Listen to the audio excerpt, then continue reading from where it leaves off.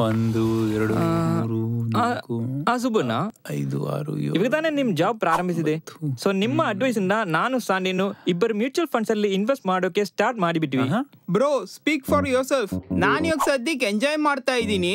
ಆಮೇಲೆ ನಿನಗಿಂತ ಜಾಸ್ತಿ ಇನ್ವೆಸ್ಟ್ ಮಾಡಿದ್ದೀನಿ. And I know I will catch up with you Sandy ನೀನ್ ಸ್ವಲ್ಪ ವರ್ಷದ ನಂತರ ಇನ್ವೆಸ್ಟ್ ಮಾಡಿದ್ರೆ then you won't have the same benefits as Andy in fact you will suffer from what is known as cost of delay even if you invest more money than me ಹೌದು ಈ cost delay ಆದ್ರೆ ಏನು? ಒಂದ್ ವಿಷಯ ಹೇಳು.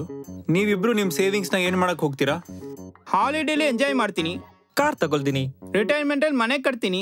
Okay okay Andy ಇದು car ಬಂದು ಈ ತರ ಇರುತ್ತೆ. ಮತ್ತೆ ಸ್ಯಾಂಡಿ ನಿನ್ ಕಾರು ಸ್ವಲ್ಪ ಈ ತರ.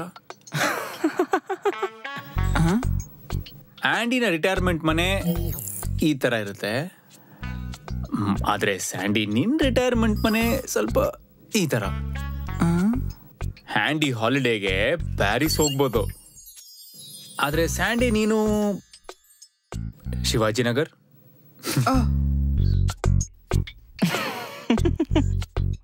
ಆದ್ರೆ ಯಾಕೆ ಹೀಗೆ? ಒಂದು ವೇಳೆ ಸ್ವಲ್ಪ ವರ್ಷದ ನಂತರ ನಾನು ಆಂಟಿಗಿಂತ ಜಾಸ್ತಿ ಇನ್ವೆಸ್ಟ್ ಮಾಡಿದ್ರು ನನಗಿಂತ ಅವನು ಹೇಗೆ ದುಡ್ಡು ಜಾಸ್ತಿ ಸಂಪಾದಿಸಕ್ಕಾಗುತ್ತೆ?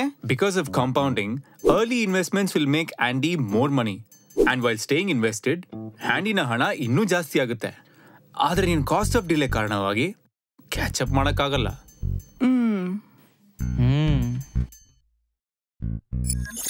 ಫಾರ್ ಎಕ್ಸಾಂಪಲ್ ಇವಾಗ ಆಂಡಿ ಇಪ್ಪತ್ತೈದು ವಯಸ್ಸಿಂದ ತಿಂಗಳಿಗೆ ಐದ್ ಸಾವಿರಕ್ಕೂ ಇನ್ವೆಸ್ಟ್ಮೆಂಟ್ ಆರಂಭಿಸ್ತಾನೆ ಅಂತ ಇಡ್ಕೋ then by the time you sixty years old you would have made a total investment of twenty one lakhs and your approximate wealth creation at the end would be 3.2 crores at an assumed return of 12% per annum.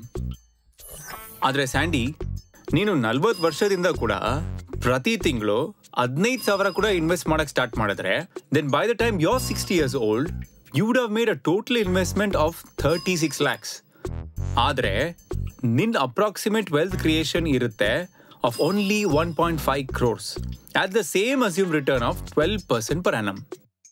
This means that you would make 1.7 crores less than Andy, even though you have invested three times more than him every single month.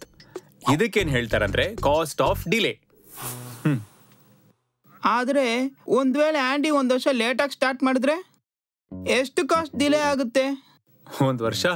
ಒಂದು ವೇಳೆ Andy ಅವ್ನ ಇನ್ವೆಸ್ಟ್ಮೆಂಟ್ನ ಒಂದು ತಿಂಗಳು ಕೂಡ ಲೇಟಾಗಿ ಆರಂಭಿಸಿದ್ರೆ, ಅವಾಗ he would be losing on a lot of wealth ಆದ್ರೆ ಒಂದ್ ವರ್ಷ ಕಳೆದು ಸ್ಟಾರ್ಟ್ ಮಾಡಿದ್ರೆ then approximately forty lakhs which means that instead of three point two crores ಆಂಡಿಗೆ ಸಿಗೋದು ಟೂ ಪಾಯಿಂಟ್ ಏಟ್ ಕ್ರೋರ್ಸ್ ಆದ್ರೆ ಏನಕ್ಕೆ ಹೀಗೆ? This is because of power of compounding ಹ್ಯಾಂಡಿನ ಕಾಸು ಮಲ್ಟಿಪ್ಲೈ ಮತ್ತೆ ಕಾಂಪೌಂಡ್ ಆಗೋದಕ್ಕೆ ಸ್ವಲ್ಪ ಜಾಸ್ತಿನೇ ಟೈಮ್ ತಗೊಳುತ್ತೆ.